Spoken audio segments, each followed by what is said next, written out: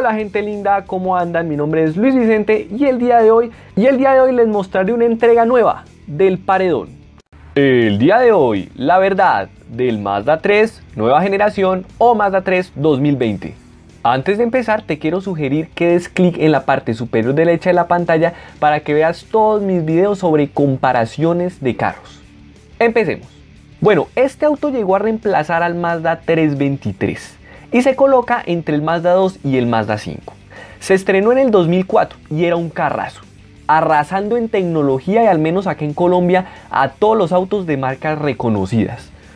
Para mi gusto, la mejor versión fue la que se estrenó en el 2004. Un auto bastante ágil y con una tecnología incomparable dando curvas. Tanto así que en su versión menos poderosa, que era la 1.6, eh, eh, que era obviamente un poco lenta en aceleración, compensaba en las curvas con su estabilidad y colocación en las mismas, siendo mucho más rápido en carretera que, que autos de más cilindraje y agilidad.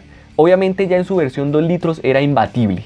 Luego salió su segunda generación, mismo motor, misma caja y un carro más robusto, con más seguridad y equipamiento, un auto menos ágil y por ser más robusto menos dinámico en las curvas que en su versión anterior.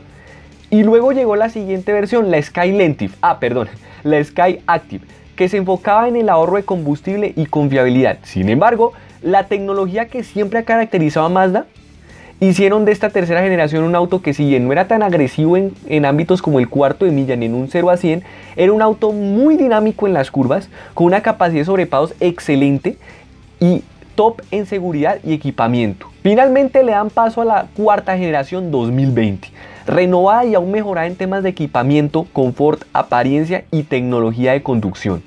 Este auto trae nueve versiones, a continuación los voy a dejar con esas nueve versiones que vienen. Como se dan cuenta, los precios oscilan entre los 67 millones 300 mil pesos, su versión más básica, hasta los 115 millones 300 mil pesos. En resumen, son dos motores, motor 2000 centímetros cúbicos y motor 2500 centímetros cúbicos. De la versión 2000 centímetros cúbicos les recomiendo la sedán de 67 millones 300 mil pesos. Ya el resto es solamente más equipamiento, pero las prestaciones son las mismas. Y si lo quieren de 2500 centímetros cúbicos, pues la sedán, la versión sedán, un auto grande que le cabe todo, 89 millones 300 mil pesos. Si ustedes quieren la versión Sport, hatchback Sport, bueno, pues ya les tocaría dar 102 millones de pesos. Sus competidores directos son el Nissan Sentra SR, el Toyota Corolla, el Jetta 1.4 Turbo, el BMW, bueno, ya marquitas ya de más renombre, BMW 120i y Mercedes-Benz A200.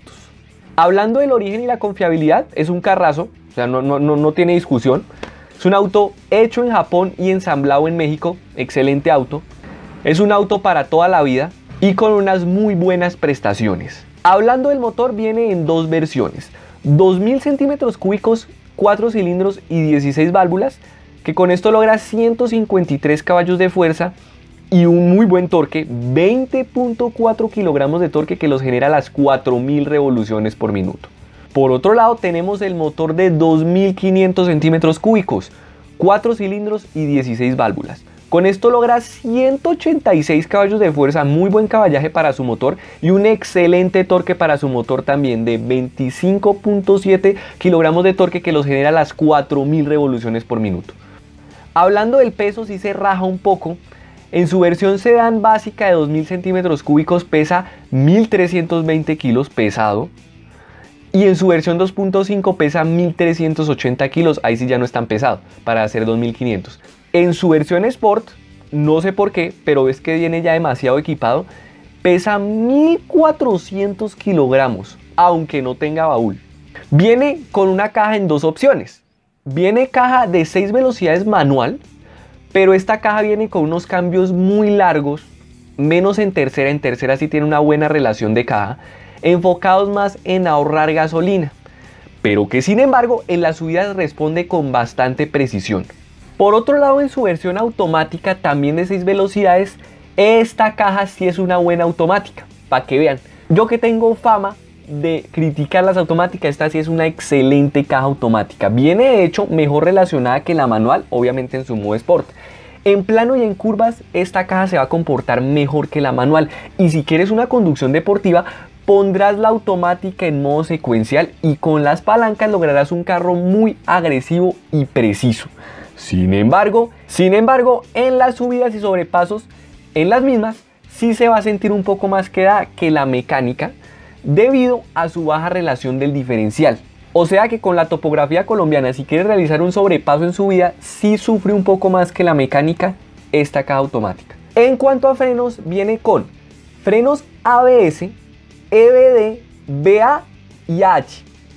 De disco ventilado adelante y disco sólido atrás. Obviamente en este punto, pues excelente. En lo que a suspensión se refiere, miren esto. Trae independiente delante con barra estabilizadora y atrás viene con eje de torsión de rigidez variable. Dependiendo si vas rápido y necesitas deportividad o necesitas confort en la ciudad. Ah, esto es otro mundo. Esta tecnología es increíble. Es muy estable y es mejor inclusive que los competidores de marcas premium. En este ítem sobra decir que le va excelente nuevamente. Trae un ring de 16 pulgadas en su versión 2 litros y de 18 pulgadas en su versión 2.5. En cuanto a consumo logra 36 kilómetros por galón, que para hacer un 2000 centímetros cúbicos no está mal, obviamente estos datos son en ciudad, y de 28 a 30 kilómetros por galón ya en su versión 2.5, pues obviamente es un motor muy grande, pues apenas logra 28 a 30 kilómetros por galón. En lo que respecta a la aceleración, bueno, en su versión 2000 centímetros cúbicos carga 64.70 kilos por cada kilogramo de torque. Es un poco más quedado que su versión anterior, por lo que es más pesado. Eh, hay que destacar que este auto, en lo que se refiere nomás a aceleración, un sobrepaso o algo así, se dejaría complicar la vida de un Nissan March, por ejemplo. O sea que para su segmento vamos a darle una calificación aceptable en este ámbito, a la versión 2 litros. Por otro lado, la versión 2.5 sí carga nomás 54.47 kilos por cada kilogramo de torque, sí es muy ágil y combinada su caja automática en modo secuencial, en carretera o en un circuito debe ser realmente divertido y agresivo este auto. En lo que se refiere a una aceleración a fondo de cuarto de milla, bueno, su versión 2 litros viene carga 8.62 kilos por cada caballo de fuerza, aunque en la altura por lo pesado se va a comportar más o menos como un 1600 ágil. Ojo, no estoy diciendo de como un auto, un super 1600, es como un auto 1600 que sea ágil. O sea que al nivel del mar le vamos a dar una calificación aceptable y a la altura en altura, sí, una calificación regular. Por otro lado, su versión 2.5 sí es mucho mejor, nomás carga 7.52 kilos por cada caballo de fuerza.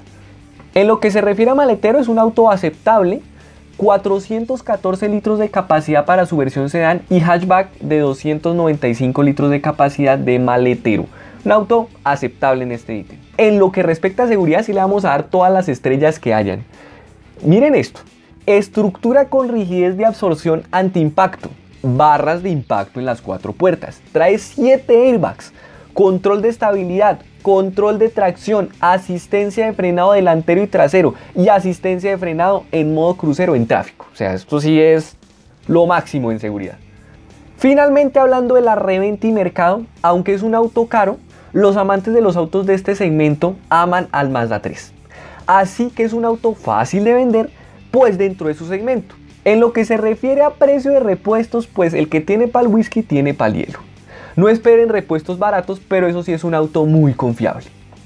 En conclusión, aunque el Mazda 3, sobre todo hablando de la versión 2 litros que lo critiqué en su aceleración, esto lo compensa muy bien con su estabilidad en las curvas. Entonces lo que tal vez se pierde un poco acelerando, lo gana muy bien trazando las curvas. Por lo tanto, en carretera el Mazda 3 2 litros es bueno y el Mazda 2.5 es excelentemente bueno. Un auto con un equipamiento excelente, así fuera en su versión básica, es un equipamiento excelente. Una seguridad envidiable y obviamente en presencia, pues obviamente es un auto muy, muy, muy bonito. Así que si tienen el dinero para comprar este auto es totalmente recomendado. Si te gustó este video, regálame un like. Bueno, ya saben, compartan el contenido, suscríbanse, todo eso. Nos vemos en una próxima entrega del Paredón. Chao.